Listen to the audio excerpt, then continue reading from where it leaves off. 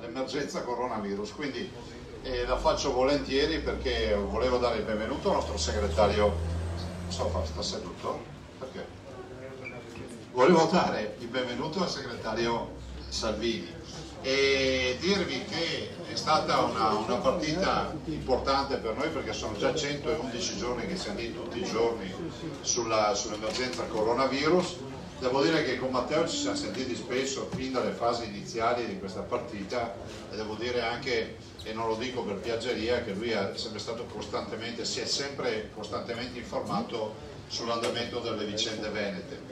E qualcuno dice è andata bene, abbiamo avuto 2000 morti, 6500 persone guarite, è stata una sfida importante, chiediamo ancora ai cittadini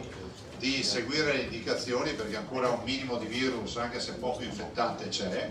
E, insomma la mascherina non è un vezzo e alcune restrizioni ancora non sono diciamo, eh, la volontà di, di, di, opprimere le persone ma la volontà di portare avanti un piano di sanità pubblica. Qualcuno prima, Matteo, mi chiedeva se sono qui a lanciare la campagna. Non lancio nessuna campagna, visto e considerato che le campagne si lanciano quando ci sono le date. Siamo davanti a un governo, vi ricordo, che ha rinunciato alla sessione estiva, è un governo che ha rinunciato a permettere ai governatori di, di, di fare le elezioni nelle prime fasi di settembre, è un governo che ancora tutt'oggi non si è neanche messo d'accordo al suo interno per stabilire una data delle elezioni.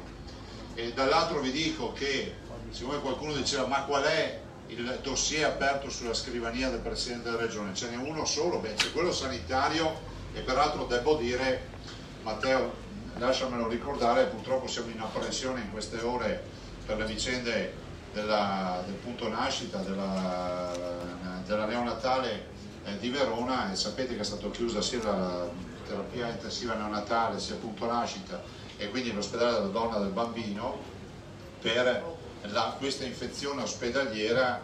che eh, ha già causato de, dei morti, quindi delle perdite di vite umane di bimbi neonati altri infettati con i postumi, adesso stiamo attendendo l'esito della commissione che abbiamo nominato eh, qualche giorno fa e considerate che noi come amministrazione regionale abbiamo saputo della notizia giovedì scorso, cioè noi non sapevamo nulla di questa vicenda, penso che sia doveroso mettere in sicurezza i bimbi, mettere in sicurezza l'ospedale e dopo accendere la luce su tutta questa vicenda senza volontà di fare il eh, giustizialismo, ma sicuramente chiarire bene per bene cosa sia accaduto, visto e considerato che il tema di un'infezione ospedaliera così importante in un reparto così delicato che è quello della neonatologia non è cosa di tutti i giorni. Partendo dal presupposto che i nostri ospedali hanno una gestione sulla quale non lesiniamo nello spendere per la messa in sicurezza, vogliamo capire qual è stato il motivo e cosa, cosa, quali sono state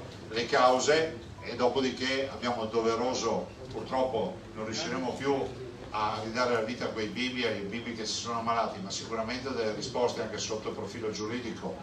alle famiglie che hanno subito ovviamente questi lutti e questi danni. Io non aggiungo altro. Benvenuto Matteo. Grazie Luca ancora. Matteo, a te la parola. Ma, eh, grazie. Eh, oggi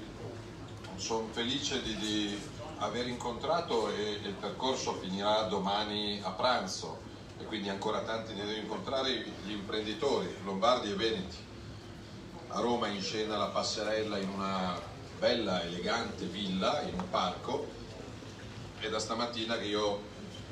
incontro imprenditori, produttori e lavoratori che chiedono soldi veri in banca, cassa integrazione pagata puntualmente, infrastrutture, pensate che io vengo dalla Valtrompia, sono, sono andato a visitare la Beretta, la fabbrica che dà lavoro a 600 persone, ed è fermo sui tavoli del Ministero da mesi una bertella di 7 km per collegare il polo produttivo come la Valtrompia nel Bresciano all'autostrada A4 e quindi il tema infrastrutture, il tema della piena operatività dell'aeroporto di Verona, il tema delle pedemontane, il tema della dorsale adriatica, il tema di porti, aeroporti, strade, autostrade e ferrovie è assolutamente prioritario. E quindi è quello che mi chiedono da stamattina, c'è una proposta della Lega sulla sospensione del codice degli appalti per il modello Genova per rilanciare opere pubbliche su cui sfidiamo Conte e il governo a venire in aula, non in villa, in Parlamento a dire sì o no,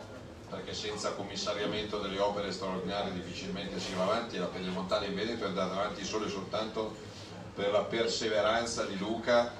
e della Lega e degli amministratori locali. Questo è quello che stiamo portando avanti a livello nazionale insieme a una corposa rivoluzione fiscale. A livello locale, lo dicevano i colleghi giornalisti, quando il governo si degnerà di decidere quando i cittadini potranno andare a votare in Veneto e nelle altre regioni, io penso che qua tempo da perdere in campagna elettorale ne avremo poco perché parlano i fatti. Mi permetto però di ripetere come segretario della Lega che l'autonomia era e rimane un cardine per l'amministrazione sia a livello locale che per il progetto Lega a livello nazionale, quindi chiunque voglia accostare la sua faccia e il suo simbolo a quelli di Luca e della Lega dovrà sia a livello locale che a livello nazionale firmarmi impegno perché l'autonomia diventi realtà quando torneremo al governo, tanto al governo ci torniamo noi fra non molto. E per quello che poi riguarda i tre mesi di discussioni io ero in contatto costante con Luca, con tutti i governatori, con tanti amministratori locali anche del veronese, del padovano, del vicentino, a prescindere dai colori politici, ho sentito anche sindaci civici o di altre, o di altre liste, ringrazio tutti per l'abnegazione, leggevo curiosamente sui giornali la competizione interna fra me e Luca, ma spero di avere competizione interna per i prossimi 40 anni, nel senso che se la competizione è tutta all'interno della Lega, allora è una competizione sana a chi fa di più, a chi fa, a chi fa meglio, a chi fa più in fretta, quindi siamo una famiglia e se nella famiglia si cresce è solo una buona notizia per tutti. Quindi ci tenevo a passare da Verona spero di fare il mio esordio, non ci sono mai stato in 47 anni di vita, però mi piacerebbe esserci in questa condizione un po' particolare, a godermi insieme ai Veneti uno spettacolo all'Arena di Verona che è stata riaperta, verrà riaperta, non tanto grazie alle titubanze del governo, quanto anche qua grazie all'intervento di Luca e dell'amministrazione locale, quindi conto la prossima volta, anzi tre appuntamenti, uno all'Arena,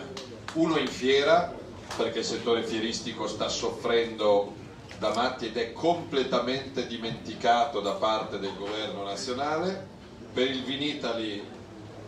qualunque data sia fissata o già il tagliando, l'unica realtà che non mi manca di Verona è lo stadio, eh, che, che, da cui penso di poter rimanere lontano ancora per, per, per qualche mese, se non per qualche anno, però non vedo l'ora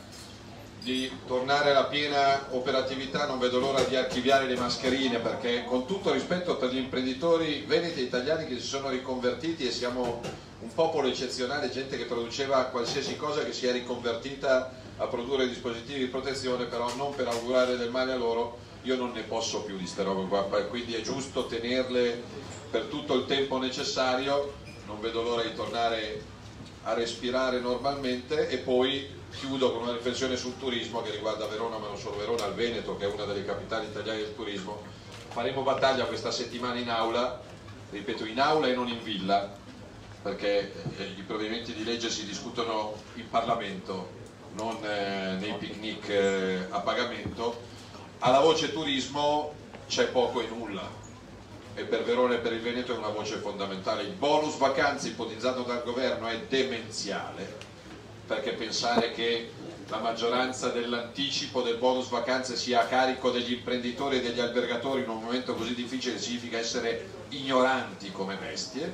anzi ignoranti più delle bestie, quindi conto di tornare a Verona con un sistema fieristico,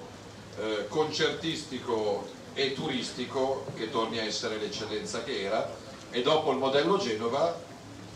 torneremo a parlare del modello Veneto. Quindi grazie a Luca e grazie a tutti coloro che hanno reso meno grave la battaglia in questi mesi. Se ci sono domande rispondiamo volentieri, i giornalisti che vogliono fare domande però devono uscire sotto l'acqua.